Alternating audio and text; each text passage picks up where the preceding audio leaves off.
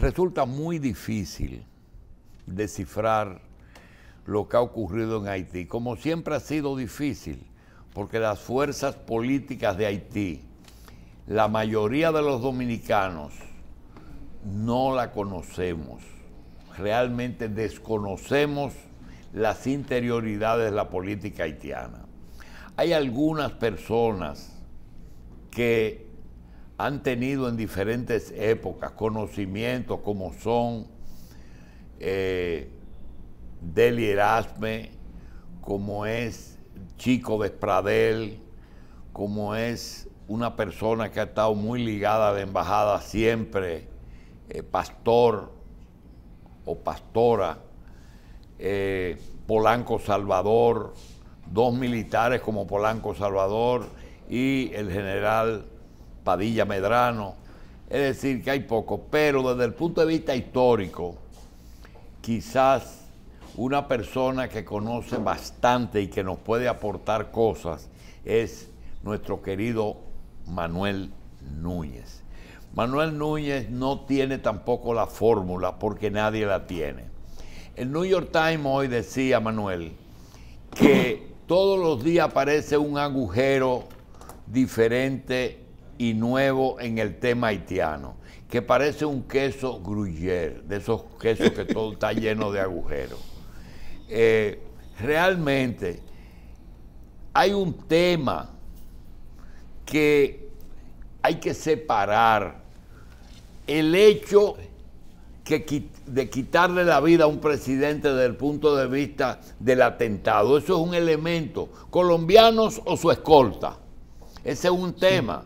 El otro es un golpe de Estado para quitar el presidente sin tener el sustituto o teniendo un primer ministro que estaba guardado y que lo nombraron.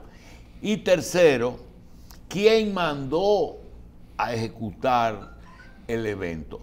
Todo eso es importante, pero la razón verdadera por la que nosotros les rogamos a Manuel, que no tenía muchas ganas de tratar el tema, es que todo lo que ocurre en Haití que altere el orden, la economía, el buen vivir de Haití nos afecta. ¿Es así? Es así, claro.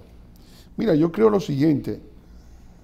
Aquí se han reunido varias situaciones. Alguien explicaba, un experto haitiano amigo, me decía que en Haití las cosas ocurren por muchas razones, porque coinciden un conjunto de razones que son las que van a orientar el acontecimiento. En el caso del magnicidio de Jovenel Moïse, eh, concurren ese conjunto de razones, es decir, eh, había una situación de que la comunidad internacional desconoció a la sociedad civil, desconocieron a los gremios profesionales, desconocieron a las dos iglesias, la evangélica y la católica, desconocieron a los gremios empresariales de Haití y comerciales, desconocieron a, los grupos de sociedad civil, ONG y esto, ¿no? Que pedían que el, presidente Moïse abandonara la presidencia el 7 de febrero pasado. Moïse estaba gobernando por decreto estaba gobernando sin el legislativo, estaba gobernando habiendo encarcelado a los jueces que debieron reemplazarlo de la Suprema Corte de Justicia, y en realidad, si lo vemos en sentido estricto, estábamos ante un cachorrito de dictador, un dictador en agraz. Y naturalmente eh, ese hecho hizo que, además de los problemas que tenía con todos esos grupos que estaban pidiendo el reconocimiento de la ley y que la había violado, estaba la división de su propia plataforma política. Moïse eh, se le dejó ahí, se le impulsó, lo impulsó quién? ¿Quién impuso a Moïse donde está? Lo puso Martelly. Martelly es ahora el líder principal de Haití. Martelly lo puso ahí y como ocurre siempre en este tipo de cosas, porque la historia enseña mucho. Martelly es el anterior presidente, el, el, el anterior presidente y probablemente el próximo presidente. Y tú dices que lo puso ahí.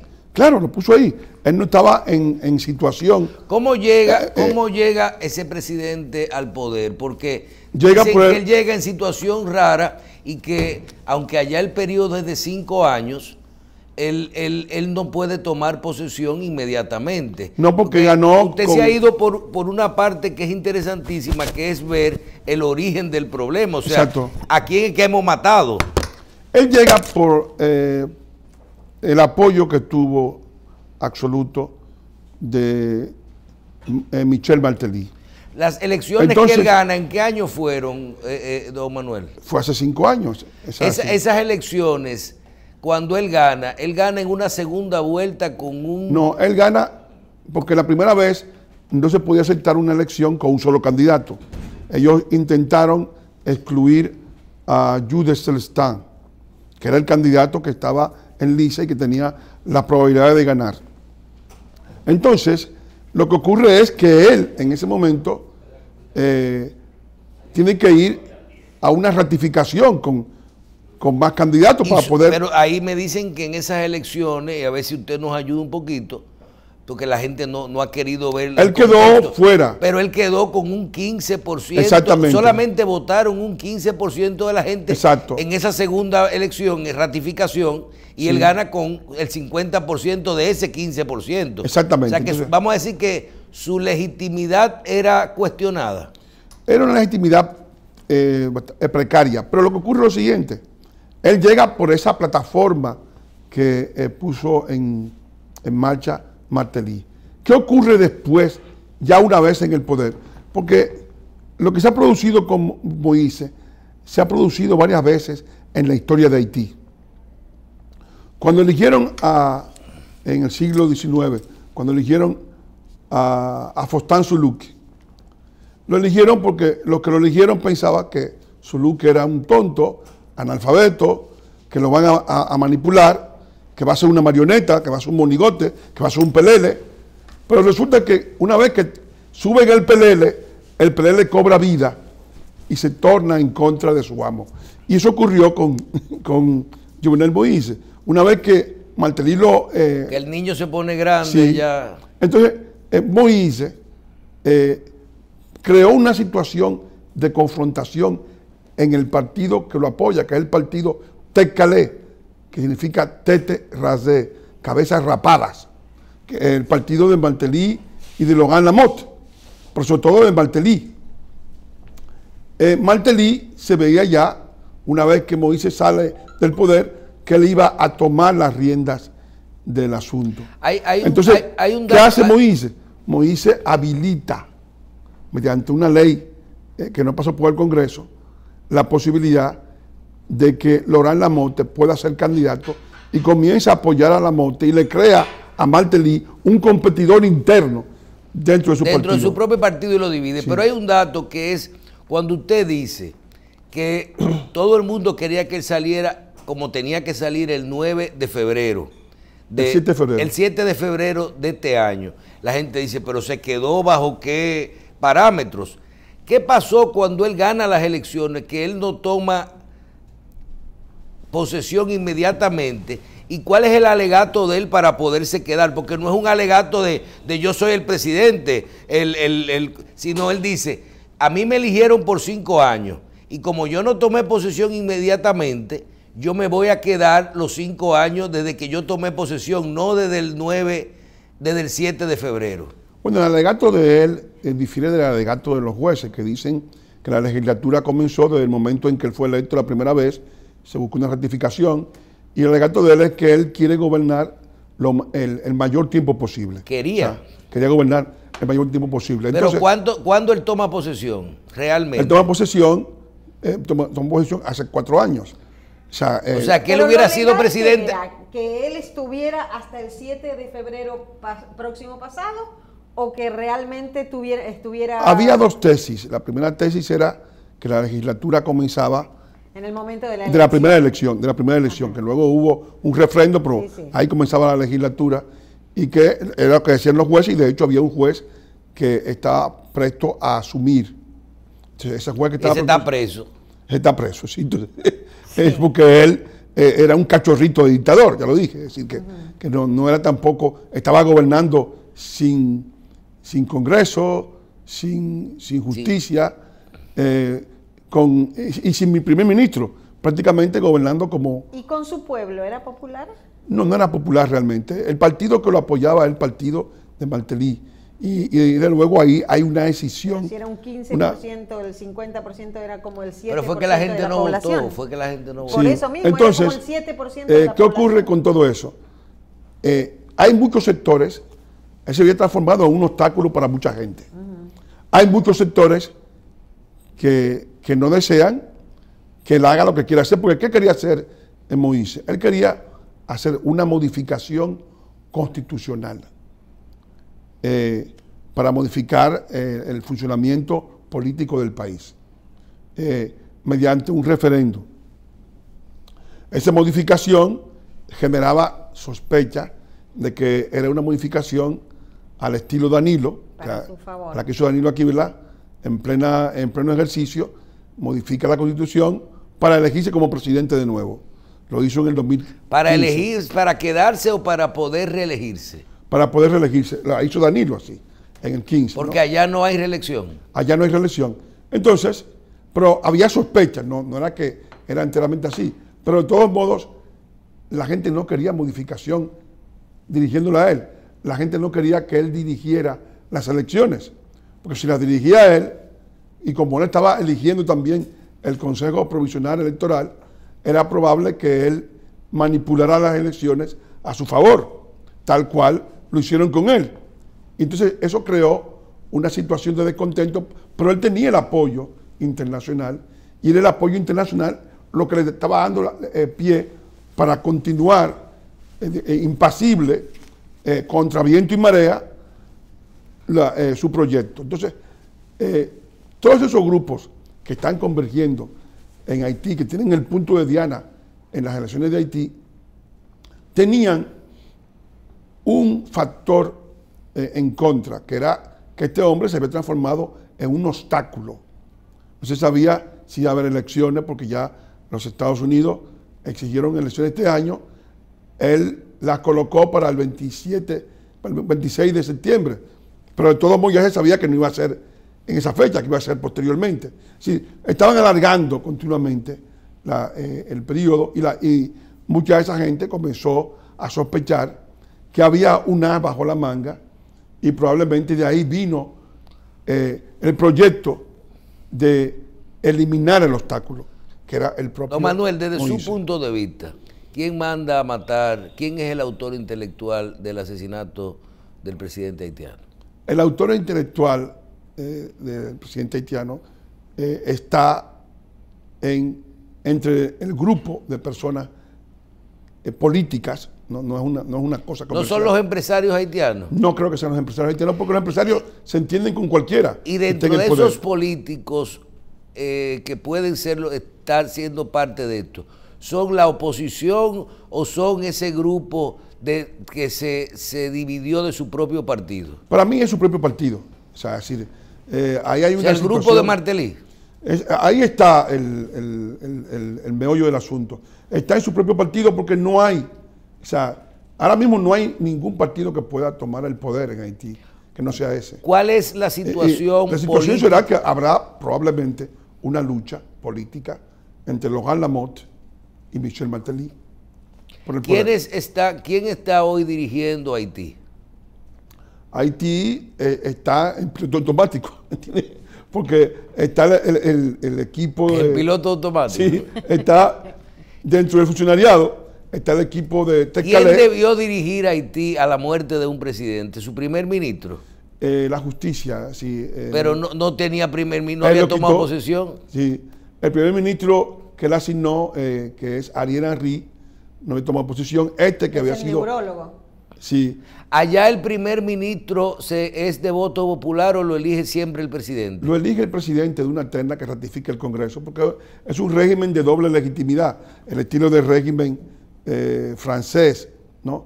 Esto es perjudicial porque evidentemente plantea situaciones burocráticas muy difíciles de resolver, pero en el caso haitiano no es tan perjudicial, porque como cualquiera puede ser presidente, el presidente puede ser un bailarín y el primer ministro puede ser un economista, un hombre que sepa de... Se complementan. Sí, entonces eh, cualquiera puede Si- ser presidente. Si nos vamos a la constitución haitiana, a la muerte del presidente, ahora vamos a tener cualquier cosa. Cualquier pusieron de presidente, hay uno que no le tocaba que está ahí, mañana ponen a otro. Estados Unidos hoy ve la posibilidad de que puede, puede eh, perfectamente. no, pero no hay un vacío de poder porque hay un primer ministro en ejercicio. pero, pero desde, si nos vamos a la constitución, Claude Joseph. ¿cuál es el proceso que debe de ocurrir en Haití? ¿Un nuevo proceso electoral? ¿Convocar a las elecciones para febrero o ahora? La convocatoria para las elecciones estaba hecha para este año.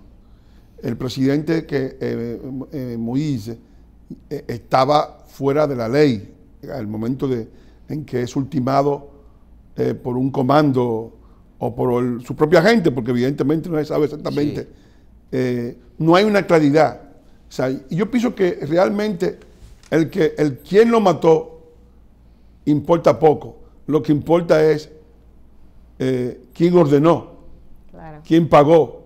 Porque si tú pones como, como, como asesino del presidente a un grupo extranjero que no tiene nada contra él, porque si, eh, de hecho, ¿por qué van a participar los colombianos en la muerte de un mandatario? No, porque se habla de que el presidente había, primero que había dicho que un sector eléctrico haitiano lo estaba persiguiendo. Segundo, que él o alguno de sus familiares se había vinculado a algunos sectores de narcotráfico de Colombia, pero parece que todo eso se ha quedado en especulación. No, no son líneas, porque hay muchas líneas, es decir, son... Inclusive que habían financiado su campaña. Exacto, pero que hay muchas líneas de, de análisis posibles. Eh, pero de hecho, lo real es que él se había transformado en un obstáculo para mucha gente. Porque Hay estaba. un amigo mío que hubiera dicho, don Manuel, eh, en un examen, o todas las anteriores. Claro, es decir, que, Eh.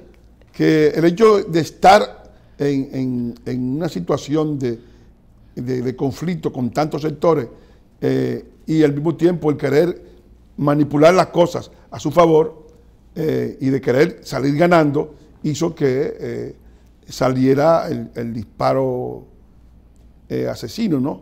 Que viene justamente de, de esos grupos que están ¿Usted entiende que en, Confrontándolo. e- que en este proceso la comunidad internacional va a intervenir a Haití? La comunidad internacional está harta de Haití. Haití, eh, su commodity son lo- los desastres, una gran hecatombe, una gran epidemia, el cólera, Un terremoto. un terremoto, un ciclón devastador Sí. que se lleve medio mundo, es decir, ¿Se entonces, puede sostener Haití en el proceso en el que logra convocar sus elecciones? eh, ¿O usted teme a que ese grupo de haitianos que están allá no puedan vivir de lo com- como está esa desorganización en este momento y se lancen a las calles e inclusive su, la cooperación internacional que la remesa para ellos es importantísima también? que no les sea suficiente y que eso cree algún tipo de, de desestabilización, de hambruna, que esa gente cojan para acá. Eso es una posibilidad. Por eso yo, yo pienso que en el caso nuestro, los dominicanos, que somos los más afectados por el problema, que somos las primeras víctimas de- de- del desfogue haitiano, una vez que sale de, de su cauce, de sus rieles, que, que que derrapa hacia el exterior el tren, ¿verdad? Pues somos siempre los primeros que pagamos el pato, somos nosotros. Yo pienso que nosotros deberíamos tener en cuenta dos, eh, tres cosas, tres cosas que me parecen fundamentales. Es decir, la primera de ellas es que saber que Haití en el estado actual constituye un peligro a nuestra ecología, a nuestro bienestar, una amenaza a los empleos, una amenaza a la salud, una amenaza a la educación, una amenaza al medio ambiente, que está obrando, no es nada más una amenaza, es algo que se está operando en el presente. El empleo está desnacionalizado, est- eh, la salud pues, eh, es muy precaria y eh, ten- tenemos problemas múltiples con los servicios nuestros debido justamente a que tenemos que compartirlo con el vecino. Entonces, ¿cuál sería, y yo pienso que ahí es que va tu pregunta, cuál sería la solución de Haití. La solución que debíamos ver los dominicanos como solución. Mira, debemos empezar diciendo cuáles no son la solución del problema haitiano. Porque, para descartar, no, para descartar, porque realmente cuando se habla de la solución, la gente cree que la solución está en una ideología milagrosa, metida en un potecito, ¿verdad? Entonces, ¿qué cosas no, cuáles son las que no son solución? para ir descartando. Para ir descartando. Porque parece que la solución usted tampoco la tiene, sino lo que no tengo, podemos Yo tengo una solución. O sea, yo tengo una solución, me parece una solución, ¿no? No es solución para Haití el confiar, como suelen muchos cada vez que hablan del tema haitiano, eh, se imaginan que la solución puede ser eh, la ideología marxista, eh, ir a un sistema, traer por piezas o por partes el sistema cubano o el sistema venezolano, cuyos resultados ya conocemos, 5 millones de, de exiliados económicos en Venezuela, un desastre, ¿no? Sí, sabemos que esa vía... No lo es. Que es la vía profética que tenía Aristide, que tiene la izquierda dominicana, que tienen los llamados grupos progresistas, que creen que tienen eh, eh, eh, el monopolio de la compasión, que todo el mundo es un desalmado menos ellos. Entonces, esa, esa idea, la creencia de que las izquierdas latinoamericanas tienen la solución porque son progresistas, no. Además, en la historia de Haití, ese método ya se ensayó, fue el método de su propia revolución. Es decir, la idea de que vamos a resolver el problema haitiano matando a todos los ricos haitianos, matando a todos los árabes que hay en Haití, es decir, matando a todo el que sea blanco y dándose todo eso a los pobres negros, eh, eso no es así, porque ya se hizo eso en la revolución y pasó de ser el país más rico del continente a ser el país más pobre del continente. O sea, ese ensayo está anulado y hay que anularlo mentalmente, porque está en muchos aspectos, en, mucha gente está como una segunda intención la idea de que por ahí está el camino de la esperanza. Por ahí no hay esperanza. El segundo ensayo es la idea de que estos políticos, al estilo Martelly, populista, al estilo Aristides, puede, pueden resolver el problema que Haití tiene, necesita un Mesías o un orador, porque son, algunos son picos de oro, ¿verdad? Hablan bonito, pero, eh, eh, mucho ruido y pocas nueces, ¿no? Eh, mucha espuma y, cero chocolate, cero chocolate, no poco, no, cero chocolate. Entonces, esa visión de que un Mesías, un buen orador, un pico de oro, va a resolver el problema sin dinero de un país destruido en términos territoriales, destruido en términos e-, económicos, destruido en términos educativos, destruido eh, porque no tiene un polo de autoridad para gobernarse, esa idea de que vendrá eh, un Mesías sobre el problema, tampoco debemos amamantarla, amadrigarla, porque sabemos que por ahí tampoco se va a llegar a nada. Vamos a tener un Martelí, un Aristides, pero el problema va a continuar degradándose. Y en ese país donde la población crece más rápido que los recursos, la pobreza seguirá aumentando cada vez. Venga quien venga, no hay político que pueda resolver el problema. Ahí no hay mesías posibles.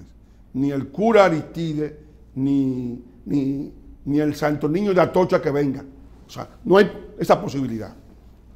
Entonces, si esas dos posibilidades están descartadas, o sea, Haití no puede por sí mismo cambiar la dinámica de destrucción que lleva su país, pues debemos ensayar la única posibilidad, que me parece a mi modo de ver visible, que es la de un fideicomiso.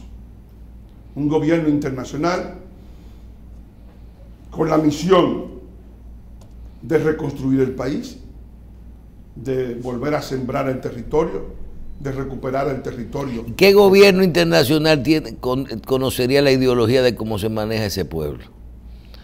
Porque, los gobiernos internacionales se han ensayado en algunos países de África, los fideicomisos, eh, porque hay que refundar un Estado. Hay que refundar un Estado para que haya una burocracia que pueda manejar eh, el país para que haya un sistema educativo, un sistema Eso como un sanitario. borrón y cuenta nueva. ¿Eh? Un borrón y cuenta nueva. No, no, no, ahí tiene que haber justicia. ¿Cómo borrón y, por, qué borrón y cuenta nueva? La o sea, de hecho, una Digo, comenzar el sistema, dice, reconstruirlo de cero. No, es que no hay... O tomar sus leyes existentes, su constitución. no, Porque, que por ejemplo, yo que he visto la constitución de Haití, yo me la encuentro, eh, vamos a decir, muy fuerte para un país tan débil. Bueno, porque son constituciones que son, son desideratas, o sea, eh, tú pones todo lo que tú quieras tener, porque ahora la gente se inventan de convertir sus necesidades en derechos y ponen todos los derechos, yo tengo derecho a esto, derecho a aquello, derecho a aquello, y después no hay forma de hacerlo cumplir porque eh, han sido construidos eh, con, con mitomanía, es decir, como, En como una papel. especie, en papel, en papel mojado, es decir, y al final son... Explícanos el concepto del fideicomiso.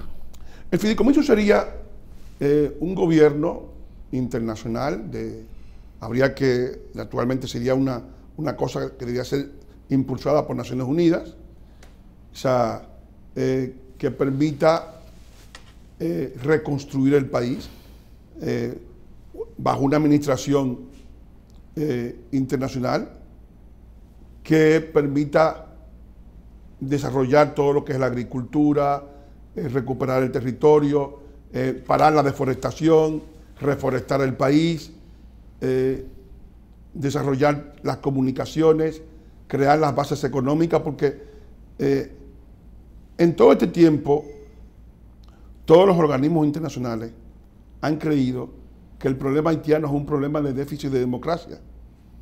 Entonces, bueno, te- hacen elecciones, pagan elecciones, pero eh, una vez que son electos los presidentes, que en una situación en la que no pueden redimir a nadie, porque son redentores sin posibilidad de redimir a nadie. O sea, es decir, ¿qué van a hacer? Son- eh, se vuelven impopulares porque luego hay que poner a otro. Y la gente está buscando a, a un presidente como quien busca a Jesucristo, ¿no? Al Salvador. Pero no hay Salvador. Es decir, porque no hay condiciones para salvar a nadie. ¿Y esos fideicomisos financian esos procesos? Ese es el gran, eh, eh, ese es el gran problema, porque eso cuesta dinero. Pero yo pienso que eh, el liderazgo de la República Dominicana, si queremos que la República Dominicana eh, permanezca en el tiempo, que nosotros somos todos, todos aves de paso, ¿verdad? Debemos de apostar por eso. Debemos apostar por algo que garantice la continuidad de la República Dominicana y que esa situación sin solución no venga a implosionar la propia estructura nacional. Porque ese es el problema. Nosotros podemos aspirar a que esa estructura nos desorganice a nosotros. Tenemos un proyecto nacional. Ese proyecto nacional, que estamos haciéndolo mal que bien, pues podría colapsar si eh, es fracturado por la mudanza de esa población hacia la parte dominicana cuando ya no haya ningún tipo de esperanza en la otra parte. ¿Y ese gobierno internacional se ha, se ha hecho en algún momento? Bueno, eh, en Naciones Unidas hay experiencia, hay experiencia de países, eh, de, de reconstrucciones que se han llevado a cabo. eh, de hecho, en, en- en Europa, en Yugoslavia, pero también en África, ha habido experiencias de que aquí hay que, cuando hay que refundar un Estado, reconstruir un Estado. ¿Para qué se, reconstruye un Estado? Se reconstruye un Estado para que ese Estado se ocupe de su población, se ocupe de su territorio, eh, se, se ocupe de, de ejercer un polo de autoridad, ¿verdad? Para ejercer la justicia entre los miembros de su, de su población, le dé ciudadanía a sus ciudadanos, se ocupe de la educación, de la salud, De la de la, documentación. documentación, de la creación de empleo. Sí, porque en este momento ni documentos hay. No hay nada, decir, no hay Estado. El Estado no existe. Entonces, hay que refundar un Estado. Pero para refundarlo hay que eh, incluir la cooperación ¿Hay internacional. alguien y la hablando de, ¿Hay alguien hablando de esto, Manuel, o es una iniciativa suya? Porque No, no, yo no, lo que veo es que los Estados Unidos pues, dicen que pueden intervenir, pero yo no he visto una reacción de la comunidad internacional. Mi- Mira, yo pienso que eh, en el hecho del fideicomiso mucha gente ha hablado. De hecho, yo recuerdo una conferencia sobre el tema hace años que se le preguntó al amigo Carlos Alberto Montaner, Y él habló de fideicomiso. Y después, hablando con, con un diplomático israelí, eh, Slomo, eh, Slomo, él también habló eh, de que la única manera de resolver el problema era la refundación del Estado y para refundarlo había que, en primer lugar, recuperar económicamente el país. ¿Cuáles son los mecanismos para esa recuperación? Primero, una ley de, catastro, porque allí no hay, eh, la propiedad es fundamental para el desarrollo. No es verdad que destruyendo la propiedad y destruyendo a los que hacen, a lo que, a riqueza, vamos a, fundar un país. Una ley de catastro para que la gente pueda invertir, vincular a toda la comunidad. O sea, garantizar el derecho de propiedad. De propiedad, eso es fundamental. Allí donde no hay propiedad, no hay libertad, ni hay tampoco desarrollo. Ni hay garantía jurídica. Ni hay garantía jurídica. O sea, que eso, el ejemplo Manuel, y, de Venezuela y, y, un híbrido, ¿se ha contemplado, se ha hecho en algún momento? Por ejemplo, eh, usted mencionó ahorita, el próximo presidente puede ser Martelí, si y está convocada las elecciones. Suponiendo que esto ocurra, pero en algún caso se ha vinculado, ok, vamos a hacer las elecciones, va a ganar quien más fuerza tenga, ganó Martelí, por ejemplo, y que esa comunidad y que ese candidato sean del agrado de esa comunidad internacional y que le den ese apoyo, ese fideicomiso adherido, pero bajo su mismo eh, mandato, mandato eh, orgánico, digamos. Es difícil eh, con la clase política actual, hecha por hombres sin grandeza, que se pueda hacer ese tipo de transformaciones eh, históricas ¿Qué es hombre sin grandeza? ¿No hay líderes en...? Bueno, los, líderes, no, eh, eh, hay eh, populistas, ¿verdad? Gente que tiene...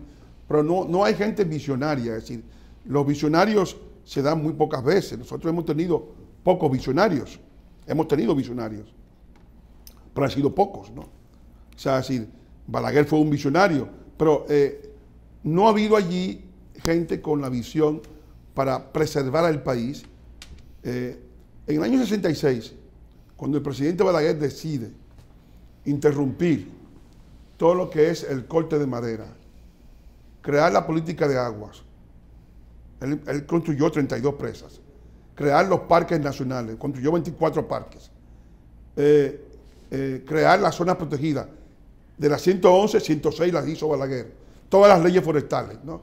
Las hizo Balaguer. Y luego creó el mecanismo cultural para que el dominicano no destruyera el país. El, botánico, el zoológico, el acuario y el Museo de Historia Natural, es decir, los mecanismos educativos para crear una generación de dominicanos que aprecien el medio ambiente, que aprecien sus parques, que van al Parque Mirador, al Parque Mirador del Este, Mirador del Norte, es decir, crear la cultura para que eh, un freno moral, un freno cultural para que los ciudadanos no destruyan el territorio para comer. Entonces, allí no se hizo eso. Y en el año 66, tanto en Haití como en República Dominicana, había 13% de foresta. En Haití hay un 1% de capa boscosa. En República Dominicana tenemos, pese a los errores que se cometieron después del presidente Balaguer, un 39% de capa boscosa. Son dos políticas, una visionaria y otra que no lo era. Entonces, hace falta un líder visionario, allí no lo hay. Yo pienso que tiene que ser producto de, de un gran acuerdo, de una gran conferencia, que involucre a toda la diáspora haitiana, porque eh, la riqueza mayor intelectual de Haití está fuera de Haití, está en Canadá, hay haitianos eminentes, gente con una eh, extraordinaria formación, que pueden aportar y que aportarían en términos económicos, aportarían en términos de importación de saberes, importación de hábitos eh, eh, educativos que puedan transformar esa nación y convertirla en un factor de riqueza.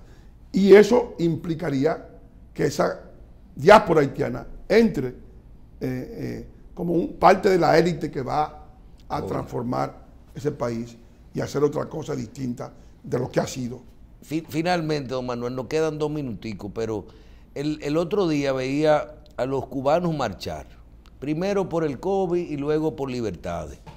Y hacíamos ejercicio diciendo, ¿qué pasaría si, si Cuba pasa de repente a una democracia? Cómo se comenzó a especular que si sería trágico, que la competencia.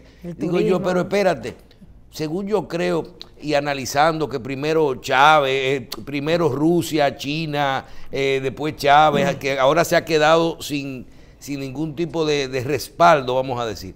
Pero parece que Cuba no está muy endeudado o no lo está. En el caso de, hablando de, de deuda, posiblemente, eh, cuando usted agarra Haití, su endeudamiento es muy alto. No, en Haití no es, el problema no es el endeudamiento, en Haití el problema está en que Haití no tiene, eh, digamos, no tiene una, una producción económica, tiene un, un producto, Pero tiene deuda. tiene deuda evidentemente, pero no es, eh, no es el factor principal porque ha habido condonaciones continuas de la deuda haitiana. Han, tenido que condonarla porque cuando eh, tú le prestas a alguien que no puede pagar, pues finalmente tiene que dejar que la deuda se pierda porque no hay forma de cobrarla. O sea, de la- en, y en caso de Cuba, la, eh, que era la mayor deuda externa del continente, eh, con la Unión Soviética. Y esa no la con borraron. Comecon. Nunca se, nunca se cobró. Sí, pero ellos no tienen, yo creo que ahora mismo eso está en cero. Y la de los venezolanos está en cero. No, porque son países quebrados, es decir, eh, el, el sistema productivo. Pero comenzar de cero es importante, Sí, no, sin pero- deuda. No, no, pero no es cuestión de deuda. El problema de, de esos países es la destrucción del sistema productivo, la destrucción de la capacidad productiva de la población, la destrucción de la vida social, la destrucción de, de todos los parámetros eh, de, de- de- de- di- digamos, de desarrollo que ha habido, porque el desarrollo de- eh, cubano es un desarrollo en los papeles, pero luego en la realidad la gente no tiene ni siquiera que comer, o sea, comen ratas, eh, gatos, cosas de estas, es No, decir, porque- porque porque es una se desesperación. Hablaba, se hablaba de que la salud en Cuba era maravillosa, pero ahora vemos que no. Mira, esa, yo, yo recuerdo, sí, eso son, son la propaganda, porque una cosa es la propaganda eh, o sea, y otra cosa es la realidad. Yo pienso que, que en un país donde no hay la posibilidad eh, de, de comer lo que uno quiera comer en cualquier momento, sino que no hay comida, o sea, hay una, en- donde, siempre, donde hay comida siempre hay cola, y no hay comida. O sea, la gente, no hay tampoco No ni hay perro. elección. No hay perros ni gatos. quiere. O sea, yo, yo vi hace dos días en internet un, un video en YouTube de un par de muchachos cubanos que estaban desollando dos gatos para comerse los dos gatos. No. Y la noticia buena era que habían encontrado dos gatos. Ah, no era que se iban a... No, no, que habían encontrado dos gatos. O sea, porque no, no estaban apareciendo los gatos, pero ellos encontraban dos gatos. Bien, Don Manuel, gracias. Sí, sí. Gracias por estar con nosotros. Señores, Manuel Núñez, historiador dominicano, nos acompañó. Le damos las gracias porque siempre nos da una manita aquí en la revista 110. Gracias, Gracias. don Manuel. Vamos a una pausa y regresamos inmediatamente.